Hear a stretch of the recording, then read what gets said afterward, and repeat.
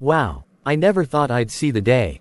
If you'd go back in time to a year ago, and told me that I would find a show that's worse than Rubble and Crew, I would have called you crazy. But, here we are. I found a show that is worse than Rubble and Crew.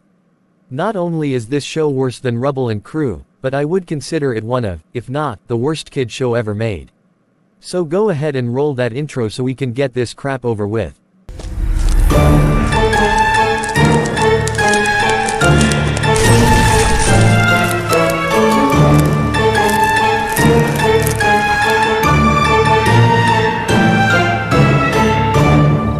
Sup guys, and welcome to the first video of Thriller Month.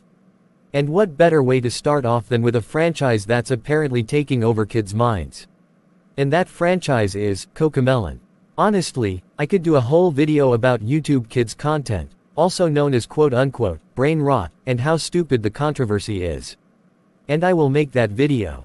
Soon. So don't go spamming my comment section asking me to do it, okay. I've already added it to the list of upcoming videos. But this week, we're gonna be focusing on the Netflix show that was released last year, Cocomelon Lane. Now, I'm not gonna give you a history lesson on Cocomelon because, we already know what it is. Even if you've never watched any of the videos, I'm pretty sure you've at least heard about it at some point, so let's just jump right into the show's problems. First off, the animation. Since this is a Netflix adaptation of a YouTube web series, you'd think they'd upgrade the animation a bit. Maybe fix all those bright colors, the constantly moving camera, and maybe don't make the dad have the most hideous character design in all of animation. Just a thought. But no, this show barely makes any improvements of the original, and the changes they do make, like the characters being slightly more expressive, is hardly noticeable. And the songs. Oh my god, the songs. I thought the Super Why reboot songs were trash, but this. This is on a whole new level.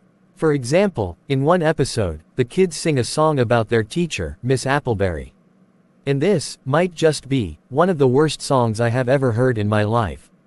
Words. Cannot even begin to describe. How much I despise this song. I'm not gonna play it because I don't wanna get copyrighted, and I don't want to give my audience ear injuries, but just know that this song is terrible. It's only three minutes long, yet it feels like an eternity. Whenever you think it's gonna end, no, it just keeps on going. By the time the song was over, I was ready to quit. And the voices definitely don't help. With all due respect to the voice actors, all the kids have the most high-pitched, annoying, Alvin and the Chipmunks on steroid voices I've ever heard. Hearing them talk is bad enough, but hearing them sing. It's legitimately insufferable. And I just gotta ask, why do all these modern preschool shows give their characters the most bland personalities ever?